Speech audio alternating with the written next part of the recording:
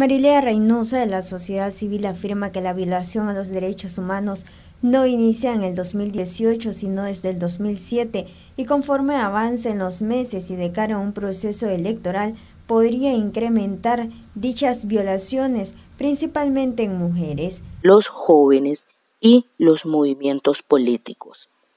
La semana pasada se volvió a incrementar el encarcelamiento de jóvenes este fin de semana se asesinaron a tres mujeres.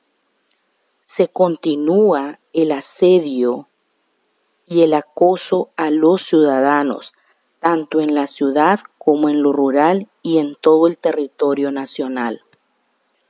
Nosotros, los nicaragüenses, debemos de reconocer el problema de la violación a los derechos humanos, principalmente las instituciones del Estado. Reynosa agrega que desde la sociedad civil han instado a los actores del desarrollo a mantener un diálogo constante.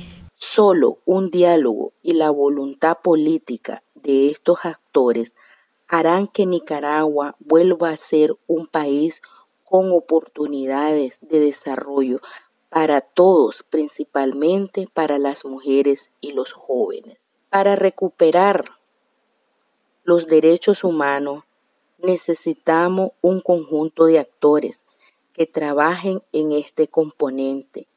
Y esto comienza desde la casa, pasando por las escuelas, los centros de trabajo y finalizando con el gobierno y el Estado en su conjunto.